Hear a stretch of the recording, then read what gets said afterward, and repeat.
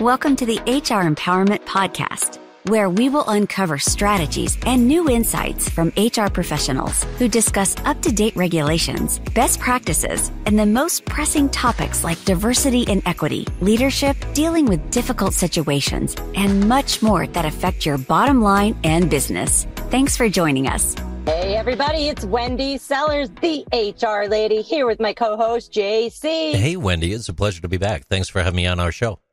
Oh, dude, I cannot do this without you. Literally could not do this without you, especially in the technology angle. So I appreciate you so much. It's the least I, I do so for my country, Wendy. Let me tell you. hey, it's free education, right? And uh, it's it always interests me that when we have free education we don't not everybody takes advantage of it but they're willing to pay for it. So please share this podcast to our listeners so every other person that we come into contact with can get the information that we're sharing. Today we have an awesome guest tina moser. Hello tina.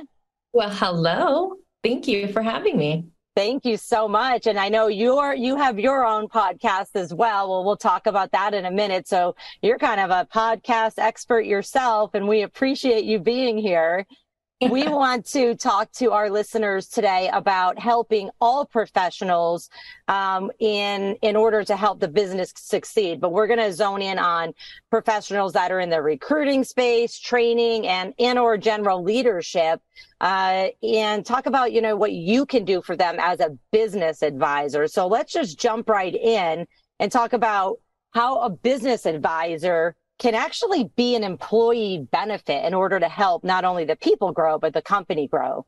So with that said, tell us a little bit about you know your background and how the heck you got to be this all around superstar that you are right now well, back in the day, um, no, just kidding. Um, I, it, it, it's an interesting story, and I'll make it as quick as I can. But right out of school, I started as an assistant to the VP of Finance for a company who actually started in a basement a few years before I joined.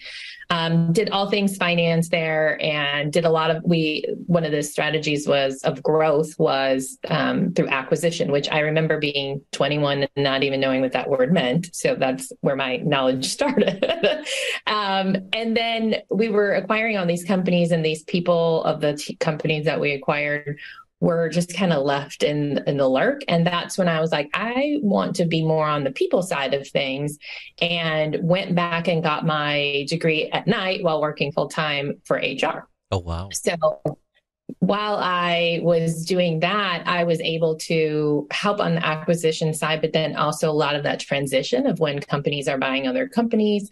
Um, and the growth was tremendous. We were growing like gangbusters. And literally, I was really person number one on it on the HR team. We had a payroll person at that point. Um, and through that growth over the couple years was we went from like maybe 300 employees to close to 2000. So, oh, wow. one yeah, who was literally going to school at the time. To, so I had no experience. Um, Tina, quick question 2,000 people yeah. in a basement? no, somebody started in the basement.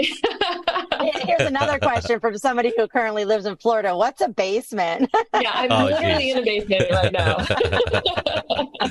wow, you know the, the choice though, Tina, to to choose human resources of all things yes. instead of heading uh, maybe into something more in line uh, with joint ventures and strategic alliances and and and the whole marketing angle. Why why HR so much? What appealed I think to it's because we didn't have one, and we were seeing like I was on the finance side of these of, of acquiring these people. Right, we're acquiring their business and merging it. So people are assets, and and we had these people that were kind of left in the dark. They didn't have anyone. We're the finance team was all about the numbers and the growth on that side, which is great but they didn't they didn't have anyone and i just i felt really called to that and um and it was amazing and so fast forward uh, in 1999, I was pregnant with my daughter and wanted to not work 60 hours a week. And so I asked that company if I could do um, part time.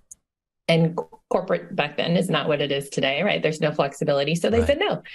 Um, and through my classes that I was taking at night, one of my business classes was to find a business, do a report on it for the class of, you know, build a business plan, that typical stuff. I took it seriously. So I'm like, I'm not a stay home mom type, but I, I'm not working 60 hours. So I took that project seriously and found a brand new franchise that had, you know, all kinds of great marketing, make millions and, you know, part time type thing.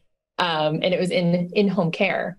So I literally quit my job on my daughter's one year birthday. It was my last day of quote unquote corporate work and um, started a business because I knew HR and I knew finance. I'm like, well, how hard can it be to be a business owner? And I got my career started as a business owner. Wow, um, that's amazing. Yeah. You know, our um, our paths cross a little bit. Uh, I also, you know, I'm the HR lady. I have 25 years experience in HR, but no shape or form did I ever intend to go in HR. You know, right. I, I, I got two degrees in healthcare administration and then said healthcare administration moves too slow for me and I can't, I just can't deal with it. You know, I want change and I want it now. And so um, I randomly ended up in human resources as well. And, it, and then I went back and got another degree in HR. But the same thing, I literally randomly ended up in HR by meeting somebody in an elevator because I had a resume in my hand. They're like, Can you learn HR? I said, Yeah, I could figure it out. And I knew nothing as well at a small company that I started with and just happened to have really great leaders that allowed me to learn and helped me and, and allowed me to screw up too, which is great because sure. that's really how we learn is from our mistakes, right? The growth doesn't happen without making mistakes. That is true. I, I do have to comment real quick, just real quick here. We're talking about a strong woman in business who's also a mother by choice. We're talking about someone who's then choosing to inspire other people and bring diverse perspectives to the table, who's uh, choosing to invest in, in the human aspect of human resources and not just the numbers, but also learning the business side. And I, it might be too much of a presumption on my part, but would that then also help you make the business case for the people in those particular C suites and rooms as you moved along? Oh, absolutely. Yeah. Because uh, having perspective of you know, especially during acquisitions and just times of change, times of change, like you have to understand the whole perspective and having both sides was a lot easier to communicate. Yeah, absolutely. Well, I want to jump into um, our next topic in a moment, but uh, you know, I want to remind our our listeners that we really want you to pay attention to the to the fact that having an external business advisor to your organization, to the individuals, the organization as a whole, whether it's a leaders, department heads, even good old regular employees that don't manage another human being, it can be a huge benefit. So when we come back in episode two, I want to start talking about that of how we can help our listeners' teams grow through using your type of services. So we'll be right back. Thank you for joining the HR Empowerment Podcast, brought to you by Aurora Training Advantage. We hope you've gained new insight and strategies to navigate the HR profession. We look forward to you joining us again on the HR Empowerment Podcast.